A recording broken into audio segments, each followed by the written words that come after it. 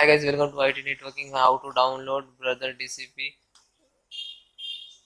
B7500D download drivers. So search on that and Google browsers. Then first click to right click.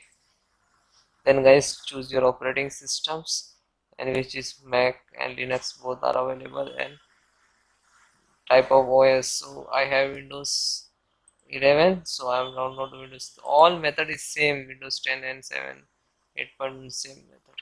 Then guys click to ok. So lot of tools are available like uninstall tool brother i i printing scanning software update notification updates driver development and firmware updates. So if you installing drivers so click to this one and then scroll down then agree and download. So now this is actually downloading so please wait some few minutes to install.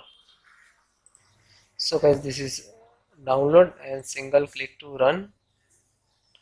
This guys again run. Now this is extracting that all installation data in your systems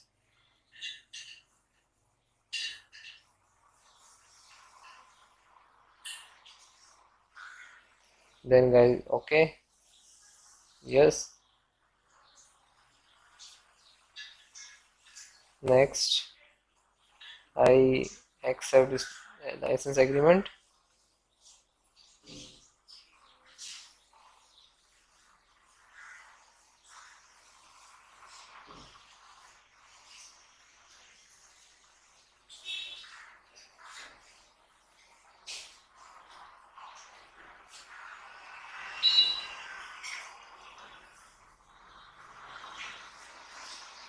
firstly guys connect to you uh, by USB cable like this your system. This is your desktop or laptop and connect to cable your printer. And then next next next install if you want to software installation additional software all check and install and then restart your system and then check to print okay